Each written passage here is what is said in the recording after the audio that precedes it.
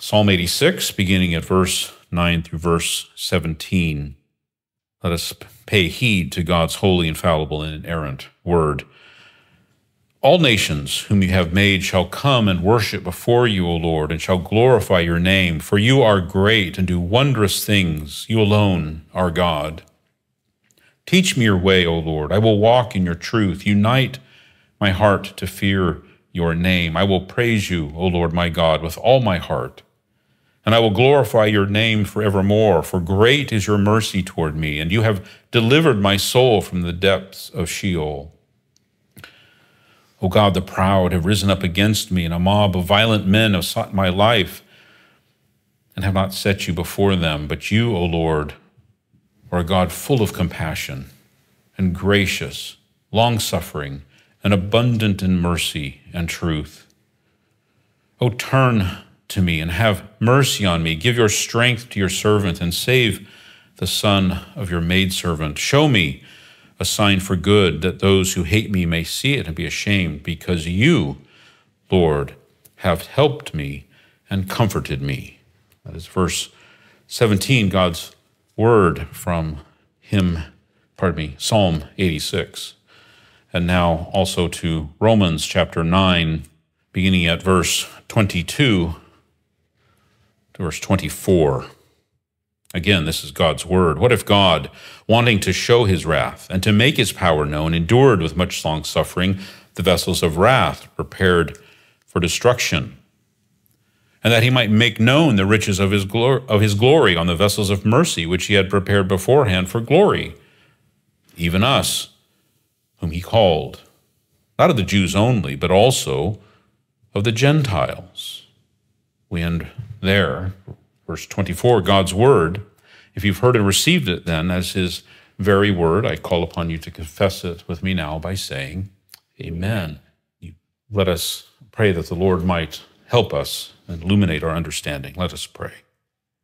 Come, our Heavenly Father, and by your Holy Spirit, we pray you would help us, that you would overrule our normal and native disposition to twist your word or to ignore it I ask that you would teach us, and not so that uh, we might have our minds filled with interesting facts about your word, but rather that our hearts would be touched, would be changed, that our thinking would be changed, our behavior would be changed. We ask, our Father, that you would hear us for Jesus' sake. Amen. Well, I suspect uh, you are you have a similar experience as I do in that uh, you go to the mailbox um, on most days and you open up the, the mailbox and what you find is a bill or two and you might find some other thing or other. Um, but there are some, from time to time, there are invitations. And I don't know if it's because of the age that uh, my wife and I are now, but we get these invitations for a free dinner all the time and it's a free dinner, no obligation, you understand. And they want to talk to us about our financial circumstances and what we're going to do in retirement. But it's a free spaghetti dinner, no obligation, of course. And we're given that opportunity, you see. We're invited to take advantage of that opportunity. Now, you may be wondering what in the world free spaghetti dinners have to do with the text that's before us. Well, it has to do with, I think, how we ought to approach this text. We are being invited here, not to a free spaghetti dinner, but we're being invited to answer the hypothetical. Now, it's very artfully rendered here by the inspired apostle, but he's inviting us to do something. And the nature of hypothetical questions is that there's an obvious answer. And that's the power of the hypothetical, the rhetorical, we might say, question more particularly. So the rhetorical question then assumes a particular answer, and this is a particularly hypothetical, supposedly, set of questions. Now, what you may gather here, perhaps it's somewhere on the edges of your mind here, that it's, uh, it's kind of an unusual little portion of Scripture. It's, un, it's grammatically unusual, I'll tell you. It's, un, it's grammatically unusual in the English, it's grammatically unusual in the original. And so the, the English here rendering shows it generally that there's really no subject grammatically. There is a subject contextually. See, what we're supposed to do is we're supposed to bring forward the accusation that we saw earlier in the previous verses. And that accusation is that there's divine injustice in matters of election, in the matters of predestination, in the matter of God's free choice to choose some and to pass by others. That's the assumed subject. That's the context of these questions that seem to appear out of nowhere in Paul's instruction to the church. And you may see here that the, the outline I've provided to, to you follows more or less this, this pattern. There are really two points in general that the apostle is making here. What if God showed his wrath, and what if God showed his mercy? One of the things that we know is, in fact, God does show his wrath and God does show his mercy. So, what's the apostle's point here? And that's what I hope to drive home this morning. And so, what we're going to look at here first in, in verse 22, when he asks that question, what if God, wanting to show his wrath, etc., what is the manner of God's wrath and power being shown? What is he wanting us to consider here for a moment? Now, if you look closely, especially here as I'm, I'm reading out of the, the uh, New King James, that little word, what if God wanting to show his wrath, that reflects something also that's going on grammatically here in that little participle wanting. And that is an expression of God's will. So wanting, probably that rendering, you know, here is maybe not strong enough. That is, what is God's desire, we might more particularly say. So what if God is desiring something? There's a way that maybe we might say it in more maybe clumsy English. What if God is desiring a particular thing? What if he's desiring, if he's desiring that his, in this particular case, that his wrath be shown? What, what if? What if? Well, not only do we have the more immediate context, we have the context of the whole book of Romans and, in a sense, the whole of the scriptures here. What do we read in the very first chapter. It seems like we always end up back in the first chapter of Romans, don't we? That God's wrath is shown, right? We know that this is true. He's already revealed this to us. We know it even by general revelation. Well, see, the fact of the matter is that it is God's desire that his wrath be shown. That's the point. He is wanting this. But not only his wrath, but as it is here, his power, both. Here, this, this power to judge, this power to punish, he wants that to be shown. Now, we know if we if we trust in the Lord, if we believe the, the biblical testimony of who God is and who Jesus Christ is and the nature of our relationship to our Creator, all those things, we know that God's will and power are shown, and shown in many ways. That's not a particular question either. That's not something that, that we might debate.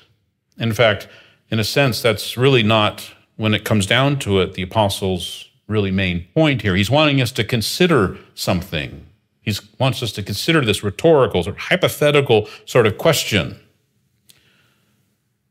See, God's will and power are shown in many ways, but it is in this particular way, in this particular revelation of his wrath and power. To what end? To what purpose? What does the text say? To make his power known. You see, that little participle at the beginning of this verse is really, really important because it's talking about God's continuing action to do something over this course of time. He's wanting to show his, his wrath and his power. It is his will, it is a desire that this happen. Well, how does that happen then? So, if this is God's express will, his express desire. This is, this is what he wants to do. And if he wants to do it, then he will do it. Then how does that happen? And that leads us to the question of the mystery of God's will. Now, here it doesn't seem so mysterious, right? It's pretty explicit here, isn't it? And yet, there is a mystery because we have to continue reading, right? Because it says he, he desires to make something known, his wrath and his power. And that's his continuing desire, his continuing expression of his will. And how is that expressed? It is expressed with endured with much long suffering. Now, that's not the way that we normally speak, particularly in the sense of endurance of God. Yes, he's long suffering, yes. But remember what it is we're talking about. We're talking about his will to show his wrath, to make his wrath known, his will to show his power, to, to make his power known. And it's revealed in divine endurance. Endurance with what? With people who hate him, with people who have turned from him, with people who are in darkness, with people who seek not only to get away from God, but even sometimes seek to harm what, how God is manifested in, in the world, and particularly, for example, the church as an institution or people, the people who are in it. And yet, God endures this. Now, I'm going to touch on this in a moment, but I just want to give you a little hint here of what, what Paul's point is, is that could God have shown his wrath earlier? Could his endurance have not been so enduring? Could God have possibly not been so long suffering? Or as it says here, with much long suffering? Of course, the answer to that is yes. That would be, I suppose, possible, we could say. But the ultimate mystery here, the ultimate thing that's revealed to us, is in this endurance and this long suffering, is what I am calling here, I guess for lack of a better term, divine freedom. See, that divine endurance, that divine, much long suffering is also met with divine freedom. You see, one of the things that we find in this, the revelation of, of God's plan of salva- salvation from the very beginning until now and even unto the end and into eternity is one that God is not bound to anything but his own character, his own nature, of who he is. That is to say, he can choose to endure and to suffer long those who despise him and hate him. And in fact, he's not bound in any way outside of himself to crush unbelievers right now. He might wait. In fact, we know that he has waited. See, these, this long suffering, this endurance and much long suffering is towards, as it says here, the vessels prepared, vessels of wrath prepared for destruction. You see, it's not that destruction will not come, it will come. That's not the question that's before us, but the vessels that have been prepared. And I'm going to continue to hammer home some grammar here. For you, for you grammar geeks, you may enjoy this. For those who don't, you will have to endure with much long suffering my grammatical stuff here. It's a perfect passive participle. That is, having been prepared. That is, there's, there's an allusion back to the potter that's in the immediate context. See, you remember from very recently here, I hope you remember, there's this illustration of the potter. And can, can the, the clay say to the potter, Why are you making me this way? That the, the clay can assert its authority over the potter and say, No, you must make me this way. And that absurd and, in a sense, almost comical illustration here in this intensely serious question. Here and particularly grammatically what he's saying here is that th- that these have already been prepared and that preparation is complete. That's the significance grammatically of what's going on here. So if we want to talk about election we want to talk about reprobation which is usually the ha- half of the equation that we don't like talking about so much. Here, specifically in the word used and the tense in which it is used, is speaking of that completed action that has been done on its object. That tells us something about the nature of God's eternal decree. Now, wait for it. There's something extraordinary that's about to happen here. So just remember here that what we're speaking of is God's purpose. God's purpose isn't determined as time goes along, right? His endurance, his much long suffering, it's not a question of God saying, well, I just, I, I just don't feel like it today, maybe tomorrow. That's not what's going on. That's the way we behave in regard how, to how the Creator looks at these vessels. The vessels are done. They're, they're formed. They've been fired, glazed, however, whatever happens. I don't know all of that, how that works. It's done. No changes to be made. They are prepared, have been prepared passively for destruction. Now, let's be very, very careful in the terms that we use and how we understand this. Destruction is not annihilation. Those two things are different. Now, if you ever went to the uh, home and garden store and you bought a clay pot and you hung it on a little hook in your patio or something like that, and you had some nice flowers growing out, out of it and so on. And the windstorm came and blew that pot off of its hook and it landed on the patio. What's the result? Well, the pot is shattered, right? The pot is broken up into big piece, bigger pieces and tiny pieces, and the soil is everywhere, and it's a, a huge mess. It didn't fall to the ground and vaporize and disappear, did it? See, that's what is being spoken of here. That is destruction in the sense of ruin. See, that pot that just fell off the hook that was on your patio and was so beautiful to the outward looking eye, to you, or so on, that fell and now is completely useless. It has been ruined. It can't be put back together again. It's a picture here. I, I really the apostle is carrying this, this forward for us, continues to remind us of this. This destruction is not annihilation, it is ruin, utter ruin. For those of you who like, by the way, the Pilgrim's Progress, just here as an aside, this is the word here we get Apollyon from, in case you're wondering, the name of the great adversary in the Pilgrim's Progress. We're, we're looking at verse 22. Let's ask the question but let's ask the question in a different way. What if God brought his full wrath to bear at the beginning? When was his wrath earned? His wrath was earned at the tree in the garden. There were two people, Adam and Eve. God had warned Adam, had warned Eve in the day that you eat thereof, you shall surely die. That's when it was earned. That's when they could have justly been consumed. And what if God had brought his full wrath then at the beginning? What would have been the end? What would have been the result? Adam and Eve would have been consumed in a moment, and everything, everything that God had decreed, as we understand it now, would have fallen into ruin. But no, he endured.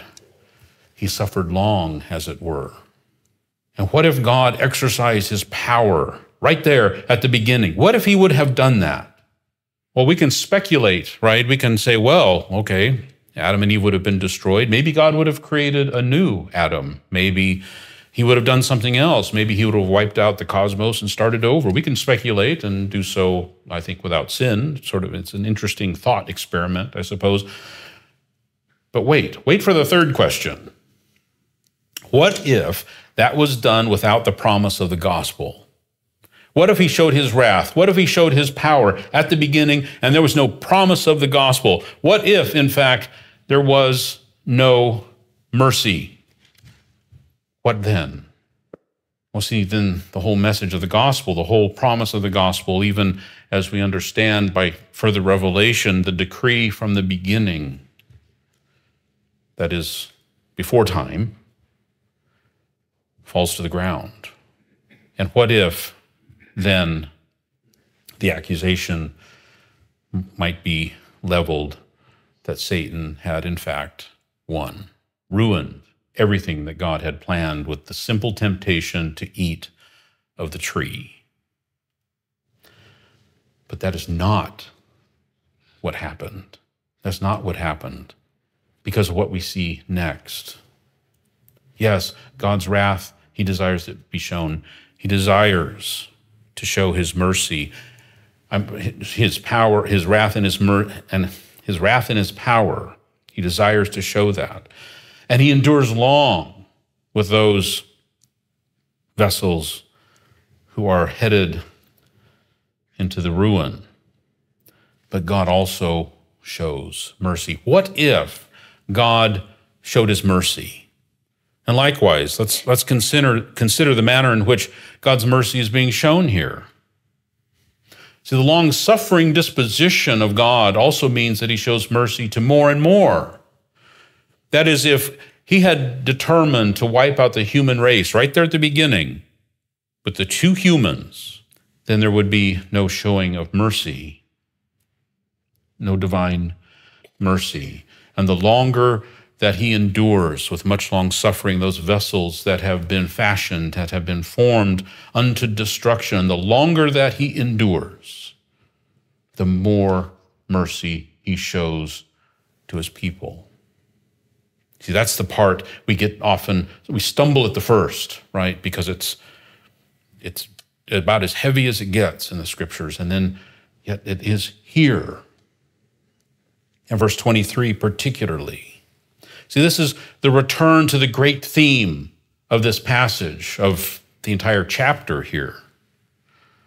And that is, it is all sovereign grace. You see, the Lord chooses to endure. He chooses to suffer long those vessels.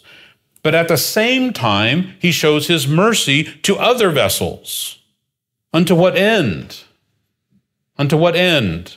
Well, previously we saw that it was so that his power and his wrath might be shown, it might be manifested, it might be demonstrated in ultimately the destruction of those vessels. What is the ultimate end here in this text, in this particular verse? The ultimate end, his glory. The ultimate end is his glory.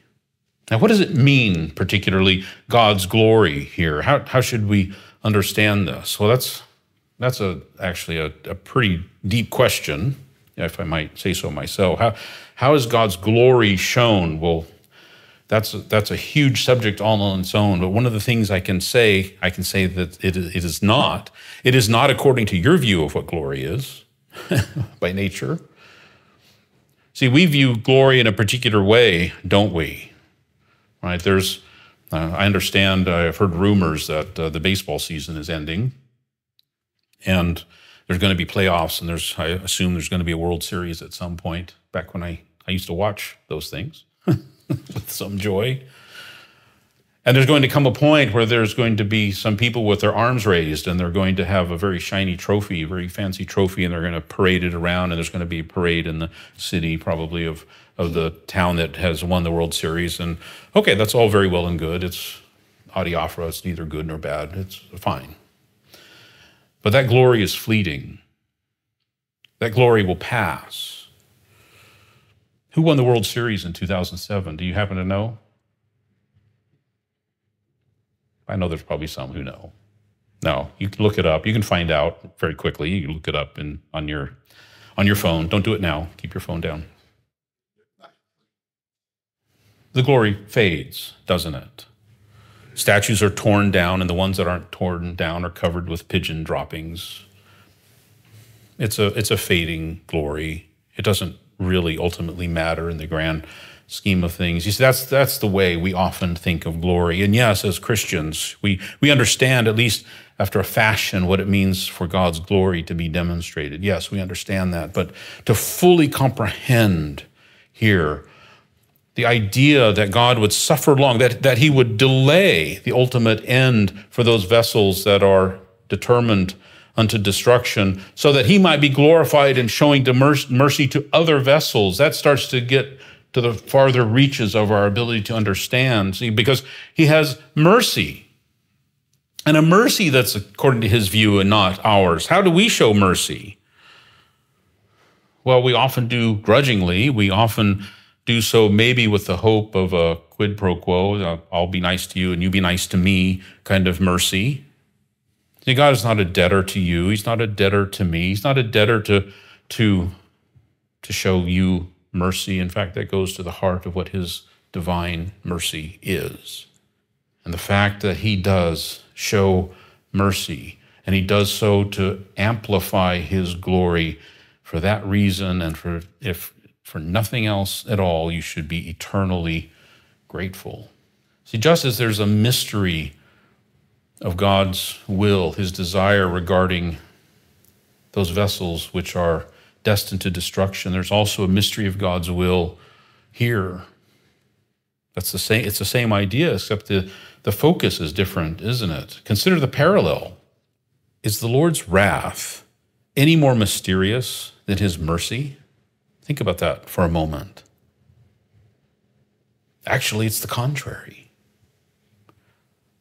If anything is more mysterious, it's his mercy, not his wrath. And there's also something else, and this is, I hope, the, the payoff. I said, wait for it. There's something else coming. We have two vessels here. Would appear perhaps outwardly that they're the same, and it would appear that maybe they're, you know, they're equally fragile, I suppose. But here the language is different. In this case, it's significantly different. Not only is it a different word, it's a completely different word for prepared. Previous word means completely prepared. This one doesn't have that nuance of meaning, and I think that's significant. But it's also in a different tense. And that different tense here, the implication is that more work is yet to be done. Praise God. There's more work yet to be done. It's still there. It's still possible that more work might be done. You see, that's the mercy, right? That's, that's the, the grace expressed. The, yes, here's a vessel that is, that is fashioned and ultimately fashioned for glory, and it is going to be continued to be refined and fashioned, and he continues to work on those vessels. What a glorious truth this is. See, wrath and mercy here. Let's speak very plainly. Wrath and mercy here are not in opposition to one another. They're perfectly in harmony according to God's perfect attributes. it's not, it's not, they're, they're not uh, in conflict in God and his, in his being. And in fact, when we rightly understand it, we understand what the apostle is getting at here is one magnifies the other. See, what, what if you had filet mignon for dinner every night? You might think, yeah, that sounds pretty good. What about every night for the next month? Two months? Yeah, you might want to might want a, a chicken breast or something after a while. Well, see, this goes to the issue here. What if we didn't have even the slightest concept of God's wrath and his judgment and his power and his authority to do such a thing, if we had no concept of those things, and all we saw was the merciful side, well, we would, I suppose it's a great blessing, right, to, to have the resources, to have a kind of a filet mignon dinner every night, I suppose. Someone else would have to tell me that. But to have a meal, a simple meal, and then occasionally have that feast See, that makes that feast so much more sweet, so much more delicious, doesn't it? To, to have that special meal. Well, in that sort of odd sort of way, right? That it, that the great thing is, it, it seems more greater. Can I say it that way? It's in relation to that simple beans and cornbread dinner that you have most nights. You see, both reflect one another, but mer- God's mercy is particularly reflected in his wrath. the glories of his mercy. See, this when it talks about his glory, here's how we ought to understand this. He delays his just wrath. He delays with much long suffering and endures with those who hate him so that he might show his mercy. And that mercy is even more glorious for the fact that he has not brought that ultimate justice and judgment on those who deserve it and who are destined for it, but rather he has shown mercy to those who deserve it. And that is the greater mystery. Unless we misunderstand here, the apostle, as he again goes back to some previous themes here, he says, essentially in verse 24, and by the way, this doesn't matter whether you're a Jew or a Gentile. This is a human condition. This is a human reality. See, the blessings of divine mercy are for all and for all times because that is the Lord's eternal purpose. And that eternal purpose is expressed throughout the scriptures. We read some of that in Psalm 86. It's what we confess when we're asked, What do you believe concerning the Holy Catholic Church in the Catechism in question and answer 54? You remember the very first line, how that's answered? That out of the whole human race, from the beginning of the end of the world, the Son of God, by his Spirit and Word, gathers, defends, and preserves for himself unto everlasting life a chosen communion, and so on. Out of the whole human race. It's universal, God's mercy. Now, that doesn't mean that it's extended to everyone in the same way. There's a sense in God's long suffering and his endurance that there's a mercy in that, in one way, I suppose but particularly the mercy of salvation as in Jesus Christ. That is for all, for all time. And that mercy, the mercy that is expressed in the course of him enduring with much long suffering, is demonstrated in the incarnation, humiliation, sin bearing, death, resurrection, and ascension of the Savior. It is represented and demonstrated to us in his promise coming again to take us unto himself, even according to what the ancient promise is that he would be our God and we would be his people. You see, this is repeated over and over and over for us in the scriptures. And from and whether it's the Old Testament or the New Testament, and when Jesus was coming to this earth, had taken upon himself human nature, in Matthew 121, what is it that is told to Joseph? It says, You shall call his name Jesus for what? I hope you could finish that for me. He shall save, he will save his people from their sins.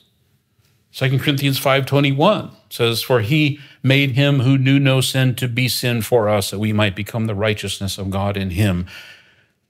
You see in the incarnation by its very nature was part of his humiliation by his sin bearing. That's part of his humiliation for your sake. His death, dying for the sins that are not his own, but yours and mine. It's part of his humiliation. But that's not where it end, ends, does it? Because ultimately the promise is fulfilled. I love going back, by the way, just Genesis, um, pardon me, uh, Revelation 20 through 22. I just, I just I, it seems like I'm always drawn to that. And here I am again in Revelation 21, beginning at verse 22.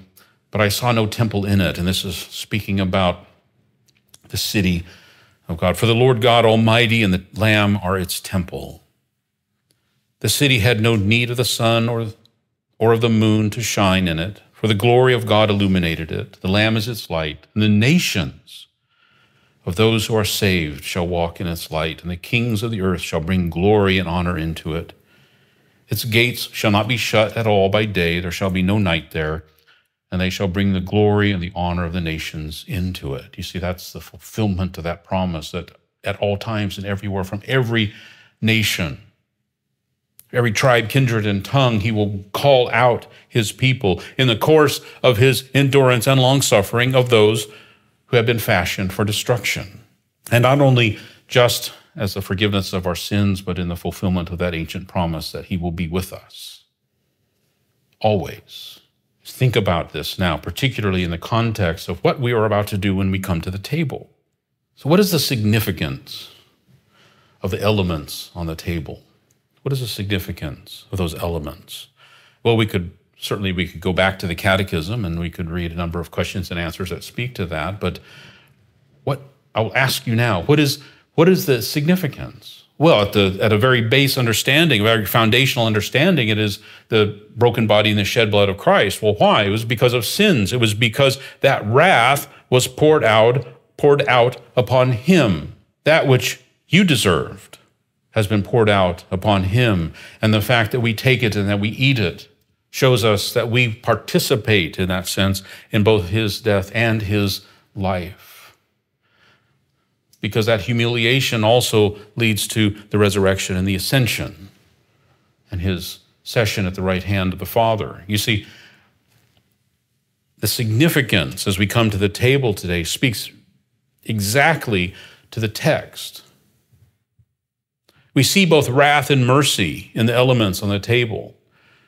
We see both glory and humiliation in the elements on the table. And those are the things that we ought to perceive as well as our union together in Christ and with one another as we share together.